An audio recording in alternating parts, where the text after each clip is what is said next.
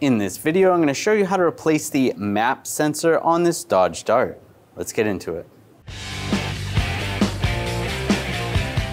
Remove this engine cover, just grab underneath, pull it straight up.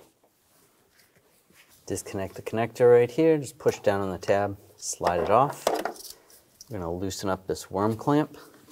Use a 7 millimeter socket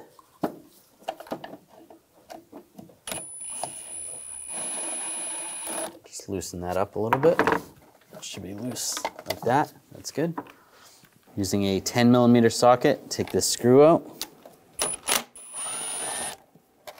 Using an 8 millimeter socket, loosen up this worm clamp. Just grab that.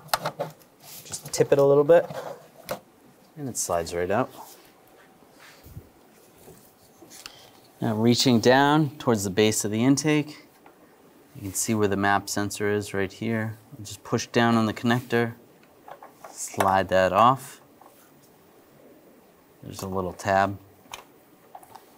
Just grab the map sensor, twist it to the left.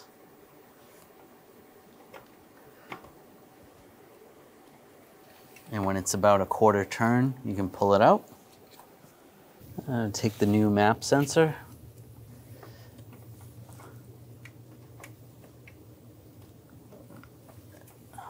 and you want to line it up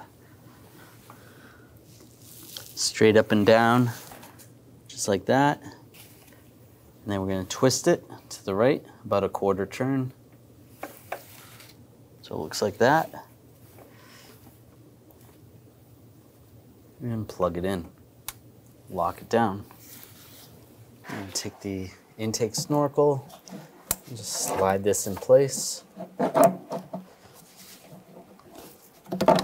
Tip it down, go over the throttle body,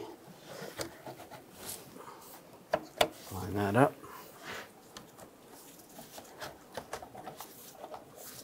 That's good. Tighten the worm clamp down. Put this screw in. Get that started. Tighten it down. Tighten this worm clamp down.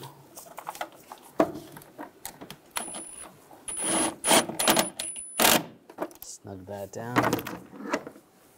Take the plug, line that up, lock it down.